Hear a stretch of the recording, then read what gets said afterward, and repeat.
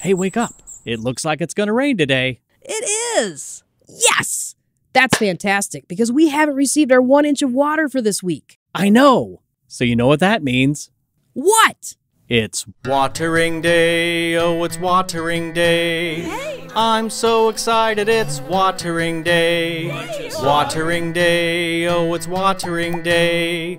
I'm so excited. It's watering day.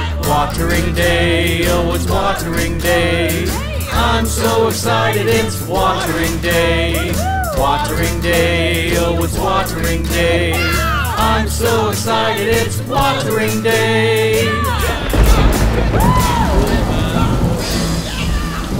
One inch of water per week, and that includes rainfall, is all you need to have a healthy lawn.